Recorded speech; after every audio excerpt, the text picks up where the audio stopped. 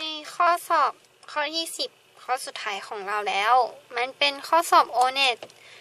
อ่าเขาบอกว่าถ้า a ปิดล้อมด้วยเส้นตรง 3x บวก 2y เท่ากับ 7 แล้วก็เส้นตรง 7x ลบ 3y เท่ากับ 1 และแกน y มี 3 เส้นเนาะก็คือเส้นนี้ เส้นนี้แล้วก็เส้นนี้ ให้หาพื้นที่ของ a ว่าเท่ากับกี่ตารางหน่วย คือข้อสอบ o n e t อาจจะเป็นข้อสอบที่ไม่ได้ยากมากเกินความสามารถ คือจะออกแนวเช็คความรู้ที่มีจริง ๆ ไม่ได้แบบว่าลึกลักซับซ้อนขนาดเขาสอบแผ่นหนึ่งอะไรประมาณเนี้ย แต่ว่าก็จะต้องระวังเหมือนกัน เพราะว่าข้อสอบแน่นอนมันจะต้องมีหลอกน้องๆมาอยู่แล้ว อยู่ที่ว่าใครจะแบบว่ารู้ทันบ้าง ใครแม่นกว่ากัน อืมใครแม่นความรู้มากกว่ากัน ส่วน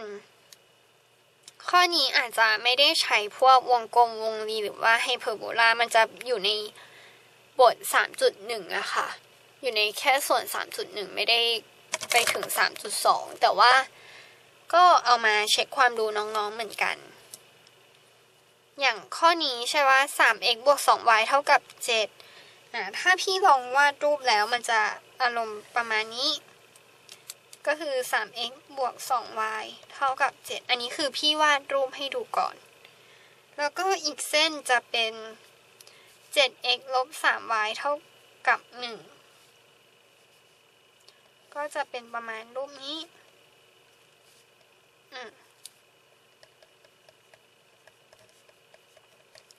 แล้วก็แกน y ก็คือแกนนี้ถูกปะ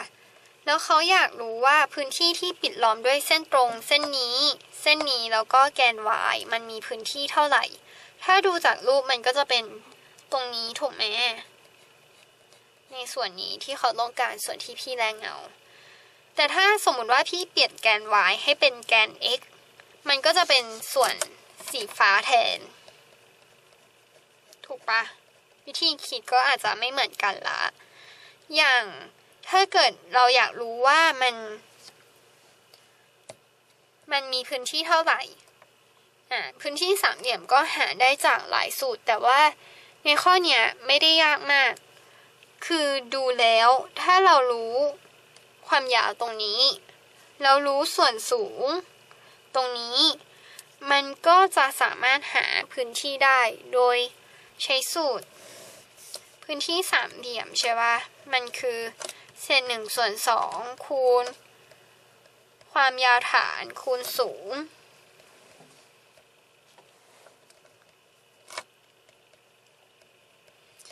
ความยาวฐานถ้าพี่ให้ตรงนี้เป็นฐาน มันก็คือดูว่าจุดตัดแกน y ของเส้นตรงสองจุดนี้คือจุดไหน ส่วนความสูงใช่ป่ะเราก็จะสนใจแค่พิกัด x ของจุดตัดสองเส้น พอพิกัด พอพิกัด x มันจะบอกระยะจากตรงนี้ถึงตรงนี้ ถูกไหมเราไม่ได้สนพิกัด y ถ้าพิกัด y มันคือจากตรงนี้ถึงตรงนี้ เราไม่ได้สน เราสนแค่จากตรงนี้ถึงตรงนี้อะก็เลยไปหา จุดตัดแกน y ก่อน ตรงนี้กับตรงนี้ เราค่อยหาจุดที่สองเส้นมันตัดกัน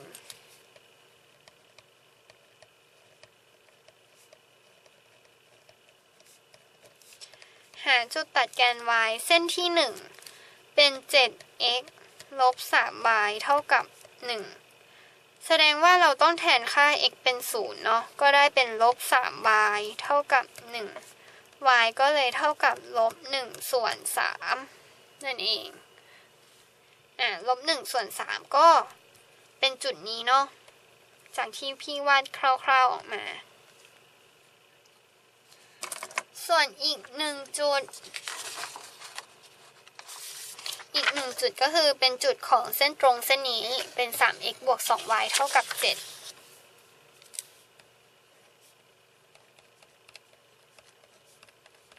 ถ้าเราแทน x เท่ากับ 0 ก็ได้เป็น 2y เท่ากับ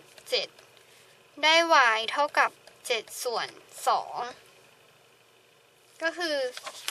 ตรงนี้พิกัด y เป็น7ส่วน2ความยาวตรงนี้ก็เลยเป็น7ส่วน2บวกกับลบ1ส่วน3ราะว่ามันมาจากเจ็ดส่วนสองลบด้วยลบหนึ่งส่วนสาม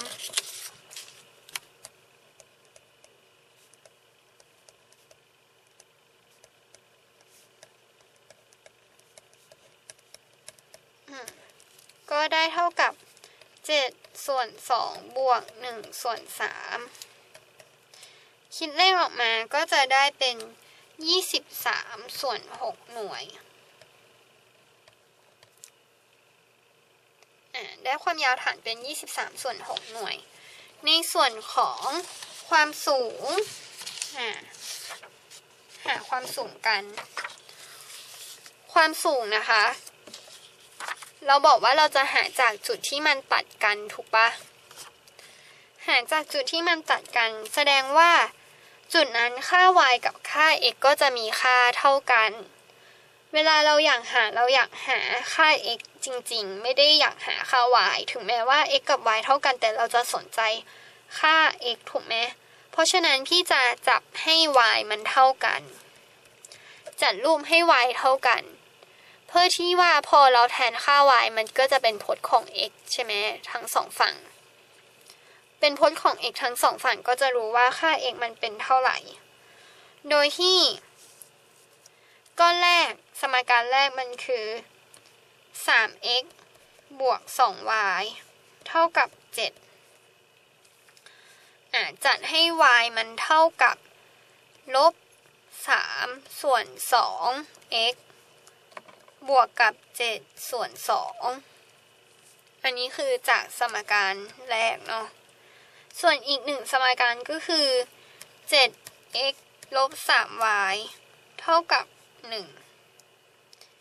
จัดออกมาก็ได้เป็น y เท่ากับ 7 ส่วน 3x ลบ 1 ส่วน 3 แล้วเราก็จะจับ y กับ y เท่ากันถูกปะถ้าจัด y กับ y เท่ากัน เราก็จะได้เป็นลบสามส่วนสอง x บวกเจ็ดส่วนสองเท่ากับเจ็ดส่วนสาม x ลบหนึ่งส่วนสาม คราวนี้ก็เป็นขั้นตอนคิดเลขละหนึ่งสมการหนึ่งตัวแปรก็คือหนึ่งตัวแปร x เนาะเราก็หาค่า x ได้ พี่จะเอาหกคูณตลอด เพราะว่าหกเป็นคอรนอของสองกับสามถ้าเอาหกคูณตลอดก็จะได้เป็นลบเก้า x บวก 21 เท่ากับ 14x ลบ 2 ก็จะได้เป็น 23x เท่ากับ 23 ได้ x เท่ากับ 1 แสดงว่าถ้า x เท่ากับ 1 x เท่ากับ 1 ความยาวตรงนี้เท่ากับ 1 ใช่ปะแล้วพี่ให้ x ตรงนี้มันเป็นความสูง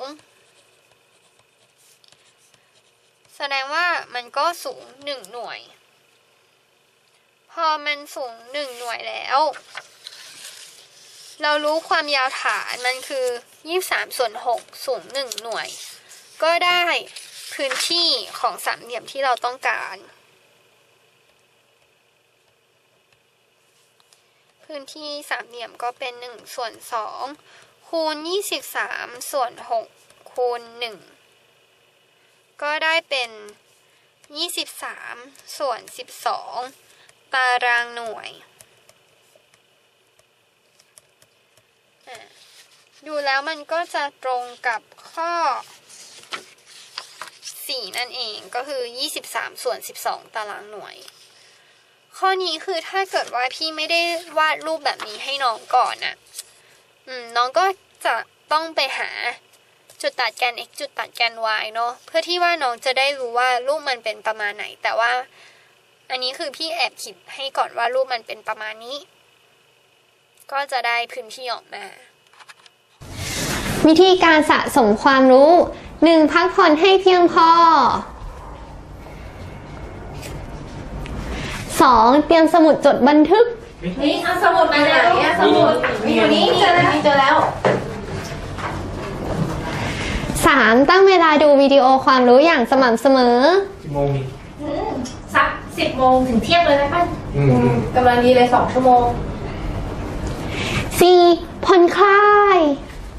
เฮ้ยกินกินกินกินกันดีกว่า อร่อย 5. ชวนเพื่อนมาโหลดแอป Nestle School อืมแอปนี้โหลดยังน่าใช้มากเลยอืมใช่แอปมากเลยอะอืมกดตรงนี้ก่อนนะ อ๋ออ๋อโอเค 5 วิธีการสะสมความรู้อย่าลืมกลับไปทำกันนะคะ บาย